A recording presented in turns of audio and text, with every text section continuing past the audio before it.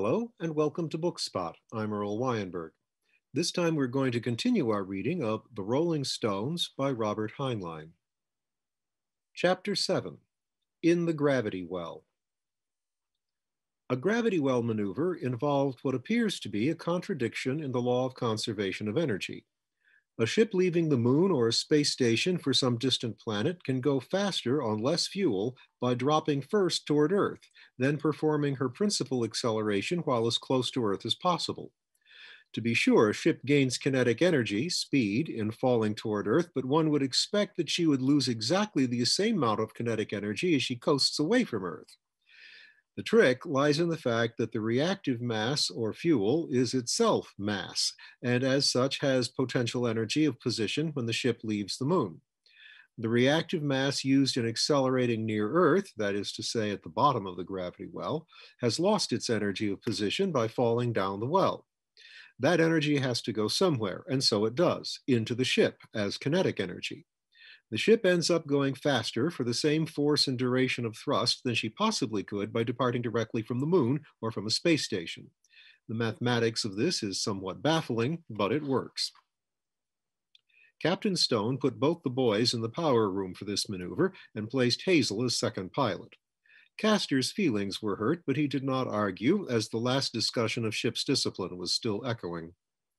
The pilot had his hands full in this maneuver, leaving it up to the co-pilot to guard the autopilot, to be ready to fire manually if need be, and to watch for Brennschluss. It is the pilot's duty to juggle his ship on her gyros and flywheels with his eyes glued to a measuring telescope, a coelostat, to be utterly sure of the extreme limit of the accuracy of his instruments, that his ship is aimed exactly right when the jet fires. In the passage from Earth to Mars, a mistake in angle of one minute of arc, one sixtieth of a degree, will amount to, at the far end, about 15,000 miles. Such mistakes must be paid for in reactive mass by maneuvering to correct, or if the mistake is large enough, it will be paid for tragically and inexorably with the lives of the captain and crew while the ship plunges endlessly on into the empty depths of space. Roger Stone had a high opinion of the abilities of his twins, but on this touchy occasion, he wanted the co pilot backing him up to have the steadiness of age and experience. With Hazel riding the other couch, he could give his whole mind to his delicate task. To establish a frame of reference against which to aim his ship, he had three stars, Spica, Deneb, and Fomalhaut, lined up in his scope, their images brought together by prisms. Mars was still out of sight beyond the bulging breast of Earth, nor would it have helped to aim for Mars. The road to Mars is a long curve, not a straight line. One of the images seemed to drift a trifle away from the others. Sweating, he unclutched his gyros and nudged the ship by flywheel. The errant image crept back into position. Doppler, he demanded. In the groove. Time. About a minute, son. Keep your mind on your duck shooting and don't fret. He wiped his hands on his shirt and did not answer. For some seconds, silence obtained. Then Hazel said quietly, Unidentified radar beacon blip on the screen, robot response, and a string of numbers. Does it concern us? Closing north and starboard, possible collision course. Roger Stone steeled himself not to look at his own screen. A quick glance would tell him nothing that Hazel had not reported. He kept his face glued to the eye shade of the coelostat. The evasive maneuvers indicated, son, you're as likely to dodge into it as duck away from it. Too late to figure a ballistic. He forced himself to watch the star images and thought about it. Hazel was right. One did not drive a spaceship by the seat of the pants. At the high speeds and tight curves at the bottom of a gravity well, close up to a planet, an uncalculated maneuver might bring on a collision, or it might throw them into an untenable orbit, one which would never allow them to reach Mars. But what could it be? Not a spaceship, it was unmanned. Not a meteor, it carried a beacon. Not a bomb rocket, it was too high. He noted that the images were steady and stole a glance first at his own screen, which told him nothing, and then through the starboard port. Good heavens, he could see it. A great gleaming star against the black of space, growing, growing. Mind your scope, son, said Hazel. 19 seconds. He put his eye back to the scope. The images were steady. Hazel continued, It seems to be drawing ahead slightly. He had to look. As he did so, something flashed up and obscured the starboard port and at once was visible in the port side port, visible but shrinking rapidly. Stone had a momentary impression of a winged torpedo shape. Phew, Hazel sighed. They went that away, partner. She added briskly, All hands brace for acceleration, five seconds. He had his eye on the star images, steady and perfectly matched, as the jet slammed him into his pads. The force was four gravities, much more than the boost from Luna, but they held it for only slightly more than one minute. Captain Stone kept watching the star images, ready to check her she started to swing, but the extreme care with which he had balanced his ship in loading was rewarded. She held her attitude. He heard Hazel shout, Brennschluss, just as the noise and pressure dropped off and died. He took a deep breath and said to the mic, You all right, Edith? Yes, dear, she answered faintly. We're all right. Power room? Okay, Pollux answered. Secure and lock. There was no need to have the power room stand by. Any corrections to course and speed on this leg would be made days or weeks later after much calculation. Aye, aye, sir. Say, Dad, what was that chatter about a blip? Pipe down, Hazel interrupted. I've got a call coming in. She added, Rolling Stone Luna to traffic. Come in, traffic. There was a whir and a click, and a female voice chanted, Traffic control to Rolling Stone Luna, routine traffic precautionary. Your plan is filed will bring you moderately close to an experimental rocket satellite of Harvard Radiation Laboratory. Hold to flight plan. You will fail contact by ample safety margin. End of message. Repeat. The transcription ran itself through once more and shut off. Now they tell us, Hazel exploded. Oh, those cushion warmers, those bureaucrats. I'll bet that message has been in the holding tank for the past hour waiting for some idiot to finish discussing his missing laundry. She went on fuming. Moderately close, ample safety margin. Why, Roger, that card sign thing singed my eyebrows. A miss is as good as a mile. A mile isn't nearly enough, and you know that darn well. It took 10 years off my life, and at my age, I can't afford that. Roger Stone shrugged. After the strain and excitement, he was feeling let down and terribly weary. Since blastoff, he had been running on stimulants instead of sleep. I'm going to cork off for the next 12 hours. Get a preliminary check on our vector. If there's nothing seriously wrong, don't wake me. I'll look at it when I turn out. Aye, aye, Captain Bligh. First check showed nothing wrong with their orbit. Hazel followed him to bed. Bed in a figurative sense, for Hazel never strapped herself to her bunk in free fall, preferring to float loosely wherever air currents wafted her. She share, shared a stateroom with Meade. The three boys were assigned to the bunk room, and the twins attempted to turn in, but Lowell was not sleepy. He felt fine and was investigating the wonderful possibilities of free fall. He wanted to play tag. The twins did not want to play tag. Lowell played tag anyhow.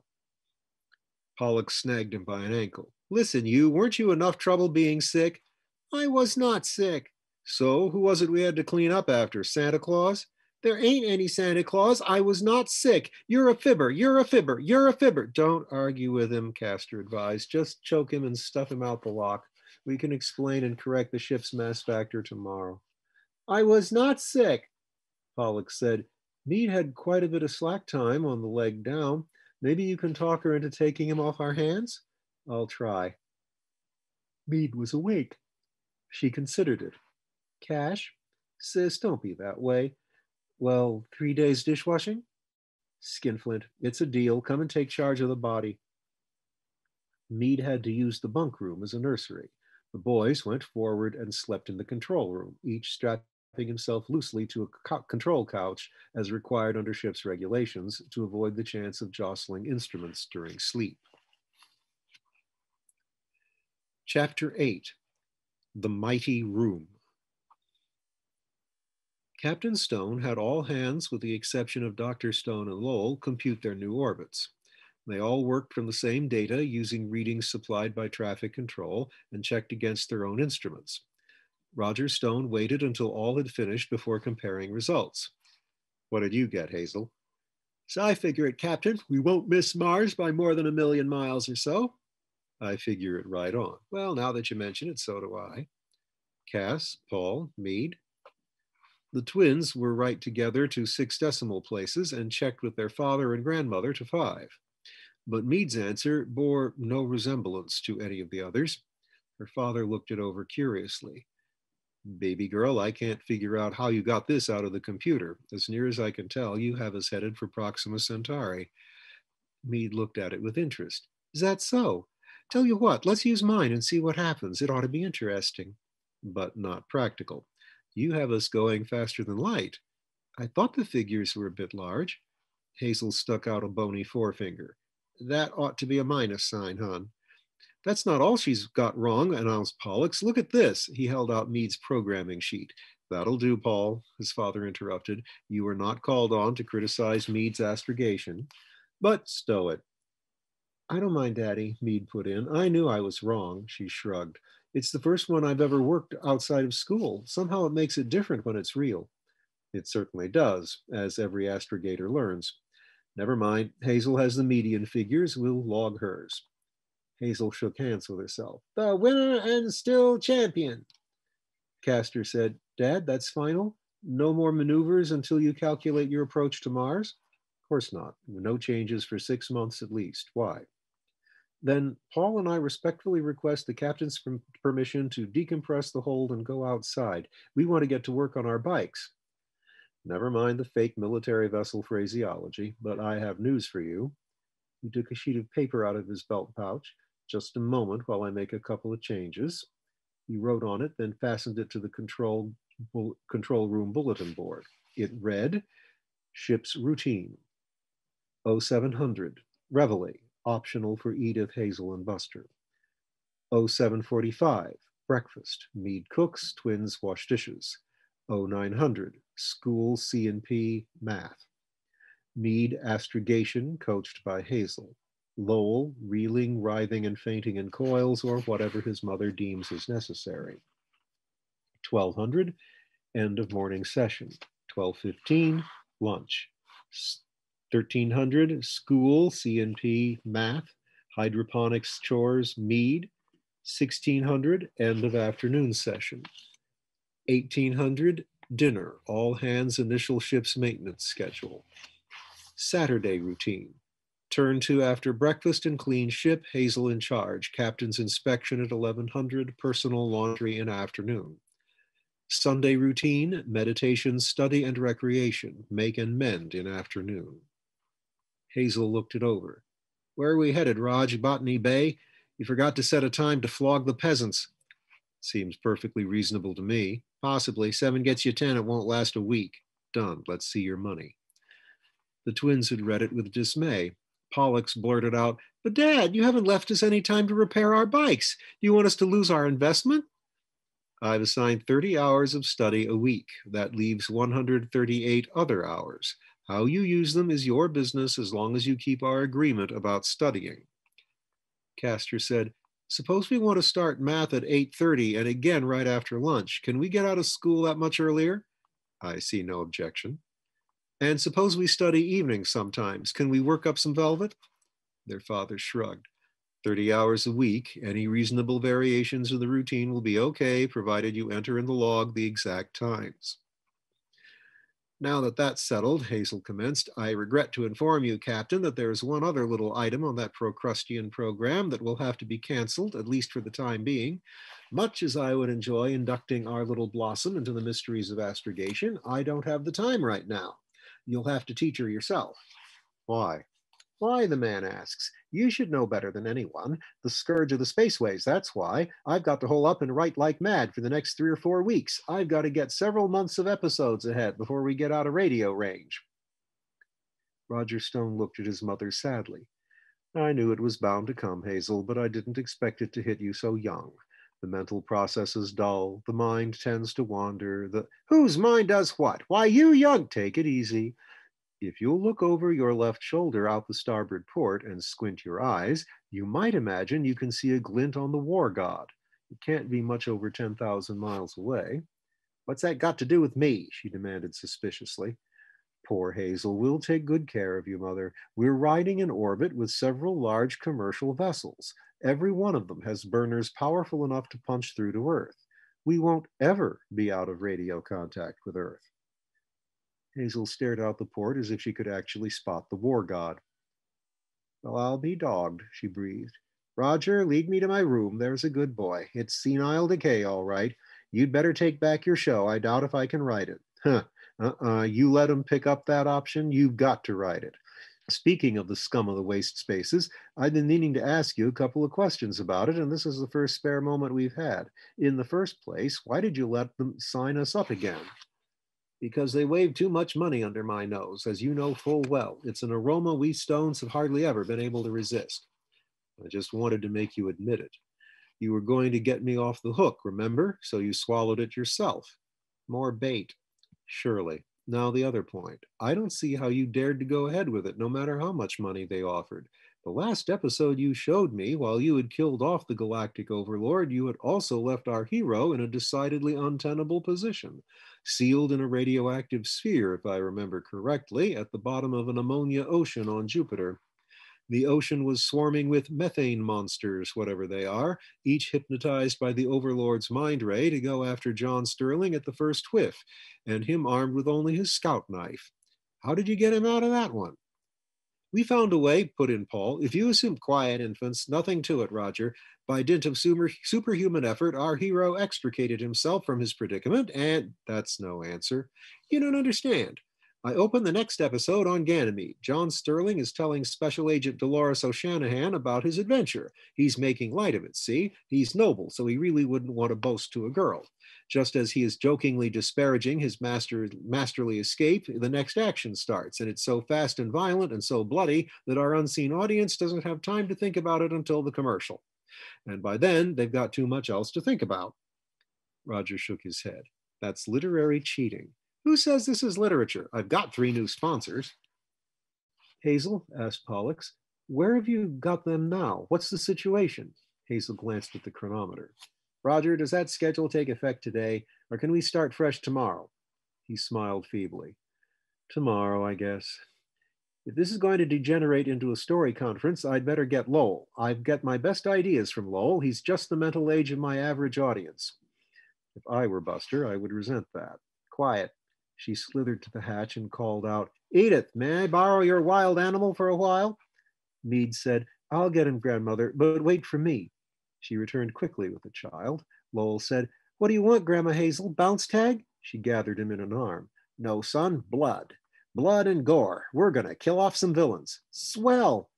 Now, as I recall it, and mind you, I was only there once, I left them lost in the dark nebula. Their food is gone, and so is their Q fuel.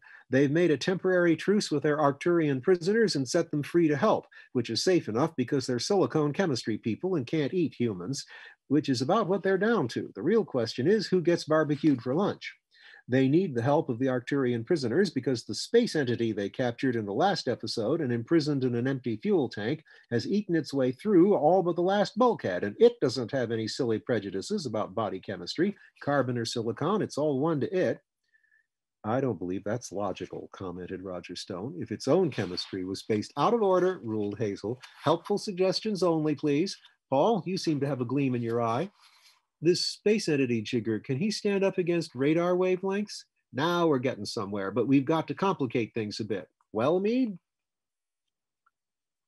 The twins started moving their bicycles outside the following day.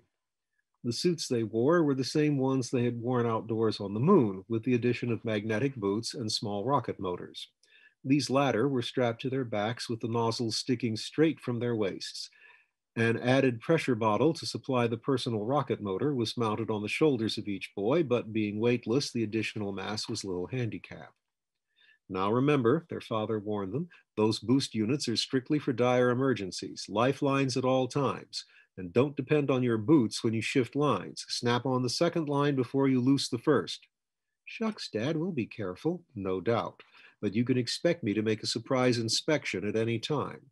One slip on a safety precaution, and it's the rack and thumb screws plus 50 strokes of the bastinado. No boiling oil, can't afford it. See here, you think I'm joking. If one of you should happen to get loose and drift away from the ship, don't expect me to come after you. One of you is spare anyway. Which one? asked Pollux. Cass, maybe? Sometimes I think it's one, sometimes the other. Strict compliance with the ship's orders will keep me from having to decide at this time. The cargo hatch had no airlock. The Quins decompressed the entire hold, then opened the door, remembering just in time to snap on their lines as the door opened. They looked out and both hesitated. Despite their lifelong experience with vacuum suits on the face of the moon, this was the first time either one had ever been outside a ship in orbit. The hatch framed endless cosmic night, blackness made colder and darker by the unwinking diamond stars many light years away. They were on the night side of the stone. There was nothing but stars and the swallowing depths. It was one thing to see it from the safety of Luna or through the strong quartz of a port. It was quite another to see it with nothing at all between one's frail body and the giddy cold depths of eternity. Pollux said, Cass, I don't like this. There's nothing to be afraid of. And why are my teeth chattering? Go ahead, I'll keep attention on your line. You are too good to me, dear brother. A darn sight too good. You go and I'll keep tension on your line. Don't be silly. Get on out there. After you, Grandpa. Oh, well. Castor grasped the frame of the hatch and swung himself out. He scrambled to click his magnetic boots to the side of the ship, but the position was most awkward. The suit was cumbersome, and he had no gravity to help him. Instead, he swung around and his momentum pulled his fingers loose from the smooth frame. His floundering motions bumped the side of the ship and pushed him gently away. He floated out, still floundering, until his line checked him three or four feet from the side. Pull me in! Put your feet down, clumsy. I can't. Pull, pull me in, you red-headed moron. Don't call me redheaded. Pollux let out a couple of feet more line. Paul, quit fooling. I don't like this. I thought you were brave, Grandpa. Castor's reply was incoherent. Pollux decided that it had gone far enough. He pulled Castor in, and while firmly holding to a hatch dog himself, he grabbed one of Castor's boots and set it firmly against the side. It clicked into place. Snap on your other line, he ordered. Castor, still breathing heavily, looked for a pad eye on the side of the ship. He found one nearby and walked over to it, picking up his feet as if he walked in sticky mud. He snapped his second line to the ring of the pad eye and straightened up. Catch, Pollux called out and sent his own second line snaking out to his twin. Castor caught it and fastened it beside his own. All set? asked Pollux. I'm going to unsnap us in here. All secure, Castor moved closer to the hatch. Here I come. So you do. Castor gave Pollux's line a tug. Pollux came sailing out of the hatch, and Castor let him keep on sailing. Castor checked the line gently through his fingers, soaking up the momentum so that Pollux reached the end of the 50 foot line and stayed there without bouncing back. Pollux had been quite busy on the way out, but to no effect. Sawing vacuum is futile. When he felt himself snubbed to a stop, he quit struggling. Pull me back! Say, uncle. Pollux said several other things, some of which he had picked up dockside on Luna, some much more colorful expressions derived from his grandmother. You had better get off this ship, he concluded, because I'm coming down this line and take your helmet off. He made a swipe for the line with one hand. Castor flipped it away. Say even Stephen then, Pollux had the line now, having remembered to reach for his belt where it was hooked instead of grabbing for the bite. Suddenly he grinned. Okay, even Stephen. Even Stephen it is. Hold still, I'll bring you in. He towed him in gently, grabbing Paul's feet and clicking them down as he approached. You looked mighty silly out there, he commented when Pollux was firm to the ship's side. His twin invoked their ritual. Even Stephen. My apologies, Junior. Let's get to work. Pad eyes were spaced about 20 feet apart all over the skin of the ship. They had been intended for convenience in rigging during overhauls and to facilitate outside inspections while underway. The twins now used them to park bicycles. They removed the bicycles from the hold, half a dozen at a time, strung on a wire loop like a catch of fish. They fastened each clutch of bikes to a pad eye. The machines floated loosely out from the side like boats tied to an ocean ship. Stringing the clusters of bicycles shortly took them over the horizon to the day side of the ship. Pollux was in front, carrying six bicycles in his left hand. He stopped suddenly. Hey, Grandpa, get a load of this. Don't look at the sun, Castor said sharply. Don't be silly, but come see this. Earth and moon swam in the middle distance in slender crescent phase. The stone was slowly dropping behind Earth in her orbit, even more slowly drifting outward from the sun. For many weeks yet, Earth would appear as a ball, a disk, before distance cut her down to a brilliant star. Now she appeared about as large as she had from Luna, but she was attended by Luna herself. Her day side was green and blue and lavished with cottony clouds. Her night side showed the jewels of cities. But the boys were paying no attention to Earth. They were looking at the moon. Pollux sighed. Isn't she beautiful? What's the matter, June? You're homesick? No, but she's beautiful just the same. Look, Cass, whatever ships we own, let's always register them out of Luna City, home base. Suits, can you make out the berg? I think so. Probably just a spot on your helmet. I can't. Let's get back to work. They had used all the pad eyes conveniently close to the hatch and were working aft when Pollux said, Whoops, take it easy. Dad said not to go aft of frame 65. Shucks, it must be cool back to 90 at least. We've used the jets less than five minutes. Don't be too sure. Neutrons are slippery customers, and you know what a stickler dad is anyway. He certainly is, said a third voice. They did not jump out of their boots because they were zipped tight. Instead, they turned around and saw their father standing, hands on hips, near the passenger airlock. Pollux gulped and said, Howdy, Dad. You sure gave us a start, Castor added sheepishly. Sorry, but don't let me disturb you. I just came out to enjoy the view. He looked over their work. You've certainly got my ship looking like a junkyard. Well, we had to have room to work. Anyhow, who's to see? In this location, you have the Almighty staring down the back of your neck but I don't suppose he'll mind. Say, Dad, Paul and I sort of guessed that you wouldn't want us to do any welding inside the hold. You sort of guessed correctly, not after what happened in the Kong Christian. So we figured we could jury rig a rack for welding out here, okay? Okay, but it's too nice a day to talk business. He raised his open hands to the stars and looked out. Swell place, lots of elbow room, good scenery. That's the truth. But come around to the sun side if you want to see something else. Right, here, help me shift my lines. They walked around the hull into the sunlight. Captain Stone, Earthborn, looked first at the mother planet. Looks like a big storm is working up around the Philippines. Neither of the twins answered. Weather was largely a mystery to them, nor did they approve of weather. Presently he turned to them and said softly, I'm glad we came, boys. Are you? Oh, you bet, sure. They had forgotten how cold and unfriendly the black depths around them had seemed only a short time before. Now it was an enormous room, furnished in splendor, though not yet fully inhabited. It was their own room to live in, to do with as they liked. They stood there for quite a long time, enjoying it.